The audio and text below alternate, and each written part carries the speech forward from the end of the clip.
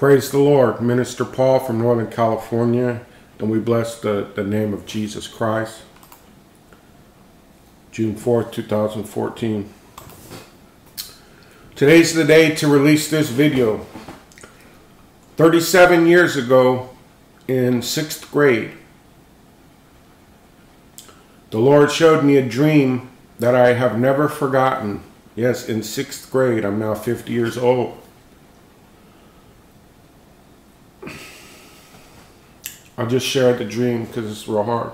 I have a picture of a of a, a, a young man walking on ground, and then the ground in front of him seems to be opening up. This was how my dream started. Yes, 37 years ago. I was walking through a field, and these earthquakes began to happen everywhere. And, and let me mention this about earthquakes we're watching these uh, mid-level three-point uh, earthquakes occur random places. 77 minutes ago 3.8 arkansas around the same time yellowstone popped off at 3.4 and then over here there was a 3.7 in italy and then it came down here to a 3.4 in chile. All within the, the same hour within minutes apart and then now uh, hawaii. Um, so we're monitoring this area because what the Lord has showed me is that these threes and four earthquakes in various places uh, will, will become fours and fives and sixes. They will increase in size, keeping up this uh, this amount of them, and they will increase in magnitude, um, and ultimately become sixes and sevens and uh, and then a major one will strike. And uh, so just be watching, ready for that. so these earthquakes, as I'm walking through this field, and remember, I'm in sixth grade in my dream too. These earthquakes began to strike everywhere, and I looked down just like this. The earth had opened up, kind and flames shot out, and I noticed that the whole ground was opening up everywhere, almost like a Grand Canyon, but not that big. Would, would open up, and uh,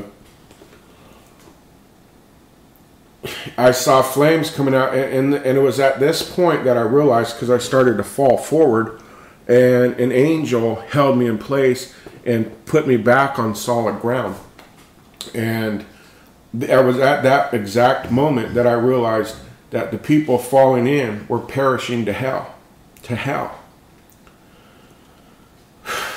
wow, this is hard.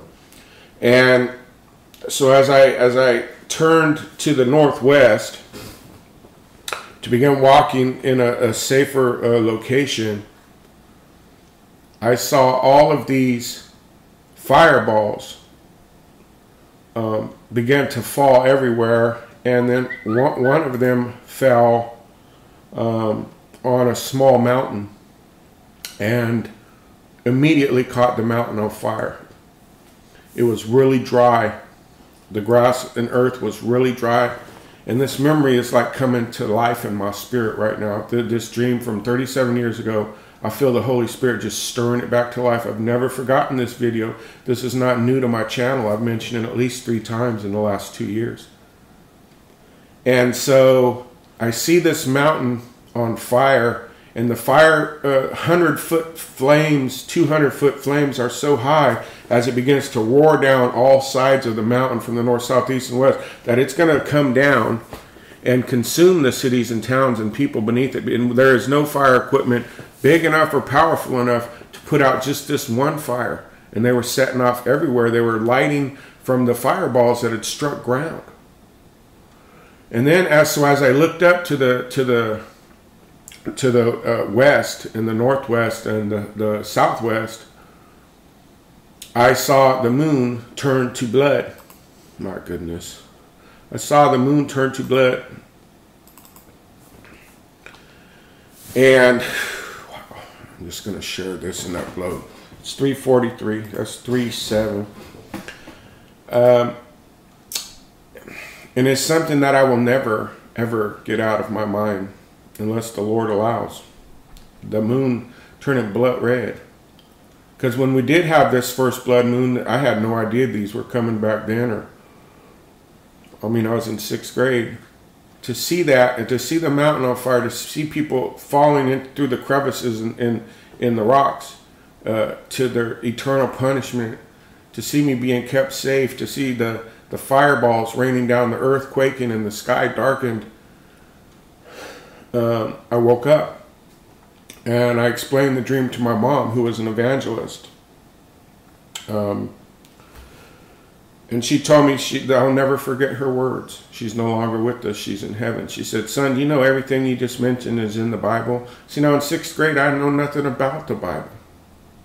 My mom told me I was called. I didn't know what that meant either. She'd take me to church, but I sure didn't understand what they were talking about. I was in sixth grade, but I was absorbing it.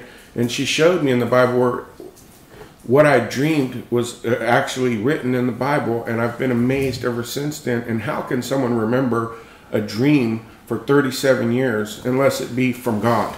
And then, now here's the interesting part. Well, it's all interesting and it's all going to happen.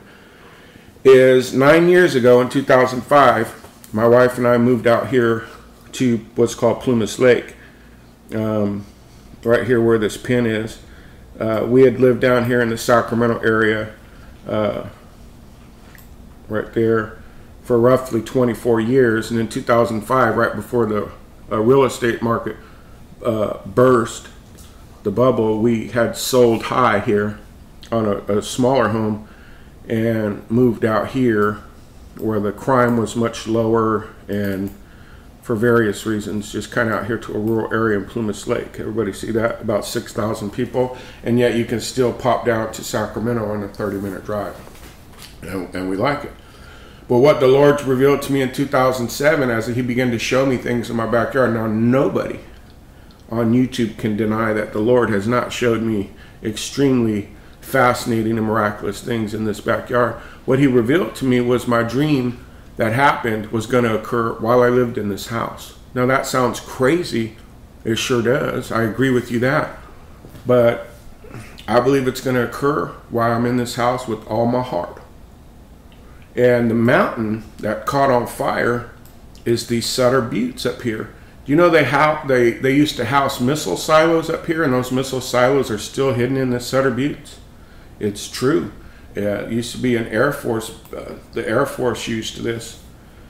Um, certain areas of it are still. Um, you're not allowed to go there.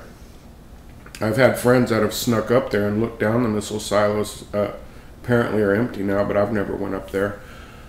But this is where the. Uh, this right here is where that meteor hit, and it went burning down this way, and this way in all areas, and then I'm down here walking and I look over here towards the western sky area, but uh, up higher, and I see the moon turn to blood, and I realize that that occurred while I was living in this house.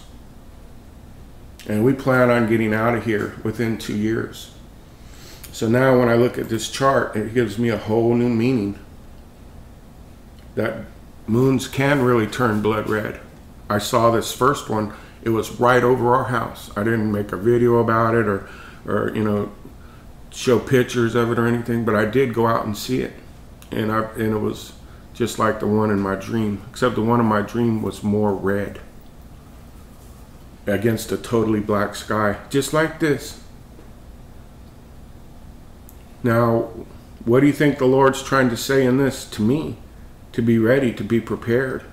I believe it's an amazing thing that he would show one person that dream 37 years ago and then have an angel come into his dream in 2012 and say 3 7 war remember that dream and then have me be reminded today june 4th 2014 as i stare at this chart of the, the tetrad of that dream i had in sixth grade of sinkholes and uh, fireballs and earthquakes and people perishing in hell that had happened while I live here. just wanted to share this today. It's just another one of those things where it's a puzzle piece that surely all of these things are falling into place right before our very eyes. And I would not anyone to be ignorant. I want people's eyes and ears to be open to the truth. So please, please, please pray over this and ask the Lord, is it true? And ask the Lord what these four blood moons mean. And ask the Lord, is he returning? And ask the Lord if there'll be fireballs hitting mountains. And you ask Jesus, will there be earthquakes that cause uh, blackouts? And it, will it be during a blood moon? Will people uh, fall through sinkholes as the earth shakes? You ask the Lord that. He showed me it, but I want you to ask him. God bless you.